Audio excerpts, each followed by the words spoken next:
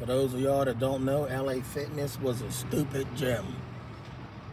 Goodbye, LA Fitness. Goodbye, LA Fitness. I'm so excited. The best part about it, say hello to Crunch Fitness. Say hello to Crunch Fitness.